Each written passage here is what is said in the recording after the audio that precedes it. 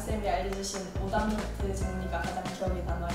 제가 원래 문제를 풀고 오답노트 같은 걸 안 쓰면 틀린 문제는 틀린 대로 넘어가거든요. 근데 오답노트를 쓴다는 것 자체가 약간 좀 새로웠고 그리고 공부에도 도움이 많이 될 것 같아서 기억이 많이 남습니다. 어, 저는 공부 방법이라기보다는 민철 쌤이 말씀하신 공부할 때 생각해야 되는 마음가짐 중에 하나가 나보다 독한 사람을 이기고 싶으면은 내가 독한 사람보다 더 독한 사람이 되라라는 말씀이 제일 기억에 남아요. 왜냐면은 남들보다 더 독하게 공부는 하고 싶은데 남들이 공부할 시간이 멀고 남들이 놀 시간이 놀았기 때문에 그 말이 가장 기억에 남았던 것 같습니다. 아, 제가 사실 고등학교 3학년이라 선생님한테 많은 얘기를 들었는데 안 그래도 제가 지금 위로 형이 있고 밑으로 동생이 하나 있는 다자녀인데 단편적으로 다자녀라는 전형에 대해서 들어보긴 했는데 그거에 대해서 좀 자세하게 세세하게 알려주셔가지고 그게 좀 좋았던 것 같아요.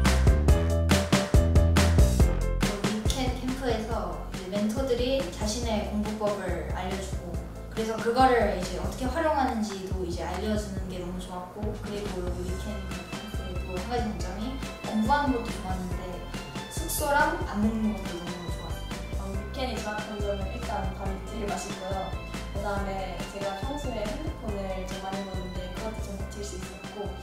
다음에 위켄 오면서 제가 솔직히 공부를 잘 안 해요. 근데 여기 오면서 약간 의지도 좀 찾은 것 같고 친구도 사귈 수 있어서 좋은 것 같아요.